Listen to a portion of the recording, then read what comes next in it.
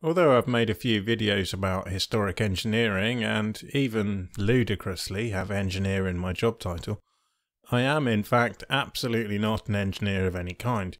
So you might think it's a bit alarming that I was recently entrusted with joining the inspection party of a drinking water supply pipe in Bristol. Even worse, me and the rest of this inspection party took only a few cursory glances at the pipe, failed to take any samples of the actual water, disregarded the fact that it's been severed by a bomb, and swanned off for coffee, proclaiming ourselves happy that the annual routine had been ticked off satisfactorily. Don't fret though, your drinking water is not at risk from my negligence. I was just harmlessly continuing an ancient local tradition. Here on the corner of St Mary Redcliffe Churchyard is a lion faced water fountain. It's now defunct, but it used to produce water from Rugewell, Knowle, a couple of miles to the south.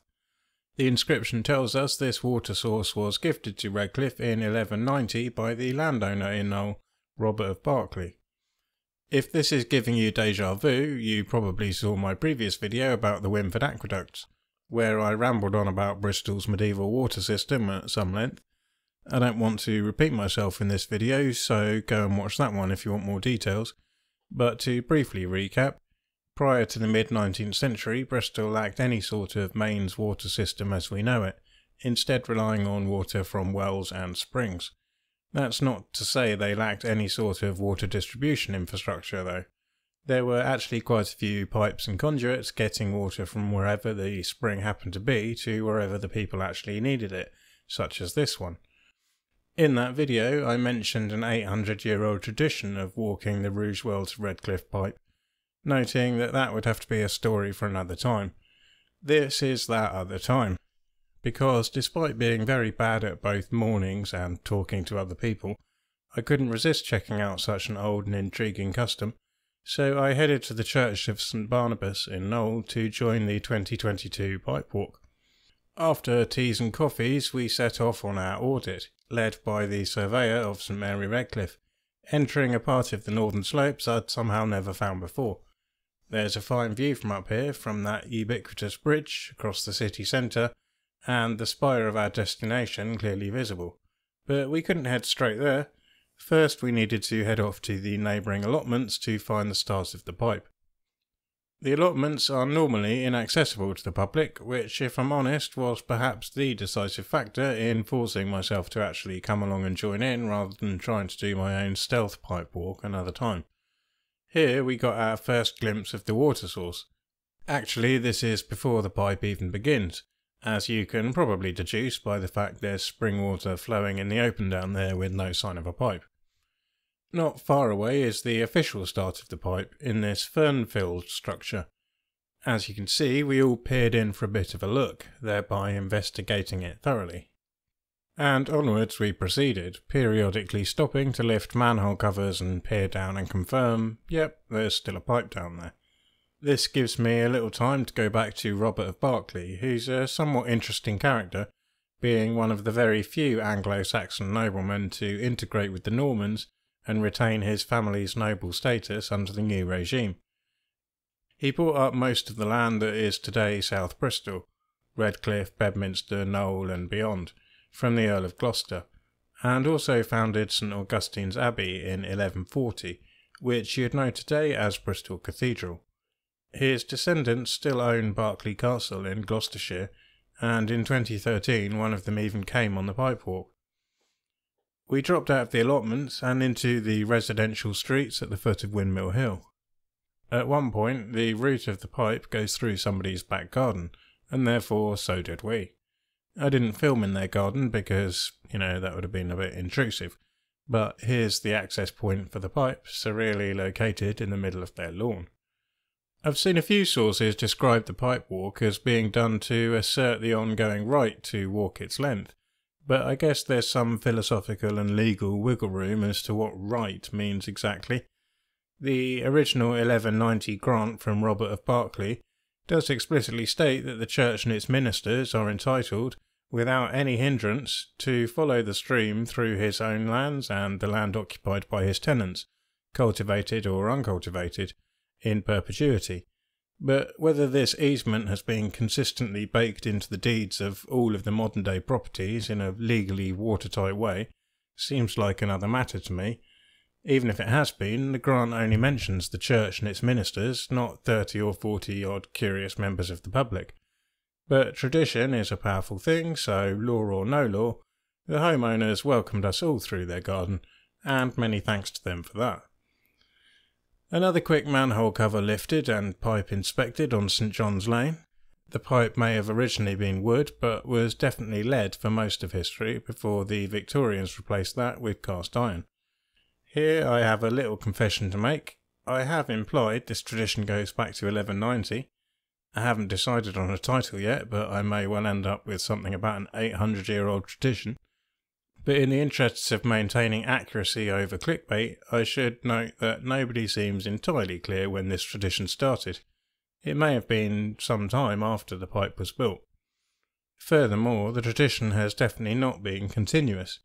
Its modern observance dates back to 1928, and nobody seems entirely clear when it previously petered out either.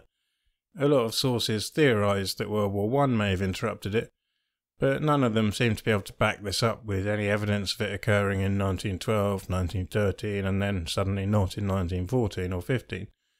In fact, I struggle to find any mentions of it really in historical texts from before 1928, uncovering only one report from 1853. In Victoria Park, we find what Google Maps calls a water maze, but some will firmly point out is in fact a water labyrinth. This was built by Wessex Water in 1984 when they constructed a sewerage interceptor to prevent heavy rain washing Bedminster sewage straight into the new cut, and this new infrastructure intercepted the Mary Redcliffe pipe. The labyrinth is supposed to be fed by water from that pipe, although there was some debate about whether this still happens or if the flow has been blocked or broken somewhere. I think the consensus was that it was still flowing fairly recently, but doesn't seem to be right now. But to be honest, I struggled to film and listen at the same time. The labyrinth design is based on a boss from the ceiling of St Mary Redcliffe. In Victoria Park, one notable tradition of the pipe walk is that first time walkers are bumped on the marker stones. On this occasion, there were 20 or more newcomers, which would have taken far too long, so a handful of volunteers were bumped as a token offering.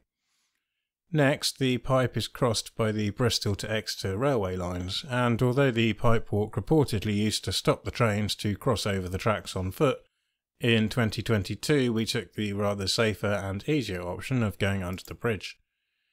Then on into Spring Street, where this pipeline terminates or the water flow is believed to terminate these days anyway, capped off after it was broken somewhere on York Road by a World War II bomb.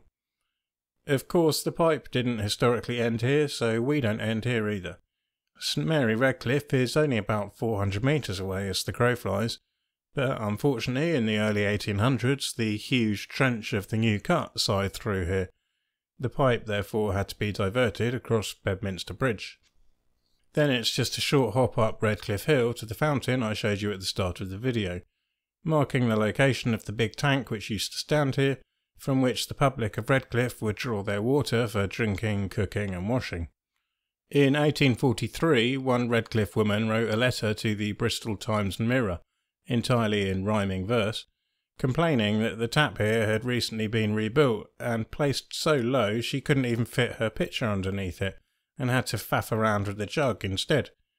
She scornfully asks, And is this, Mr. Times, what the knobs of our city call the work of the famous Improvement Committee? It seems when it comes to resident satisfaction with local authority infrastructure work, some things in Bristol never change. So, how old is the pipe walk really? 1190 is the headline grabbing date, but I'm afraid I can't help myself from being my usual killjoy skeptic I wonder if for most of history church staff undertook the inspections as an unsung, boring part of their working duties, and the notion of it being this kind of annual public ceremonial sort of affair came along rather later.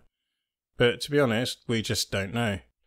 Even in its current incarnation, though, it's been observed for nearly a century, which is plenty long enough for a tradition to feel pretty damn traditional. And long enough that I'm definitely glad I dragged myself out of bed that morning to take part.